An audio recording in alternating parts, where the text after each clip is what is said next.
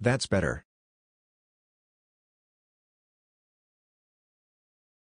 I'll handle the business side of things I just need you to code it. One guy said this stuff to me when I was in school and compared himself to Steve Jobs. I said so I guess I would be your Wozniak, right? He didn't know who Woz was, but I didn't want to be the Woz to his Jobs. I made one for school project that was could predict if a stock would raise or not at 54 accuracy. Predicting raise every day would give you 58 accuracy. Got 100 for that lol. And if it works, we can split 30 of your profits. My idea is the next insert billion dollar platform. You build it and I'll pay you in shares number 10 of 0 is 0.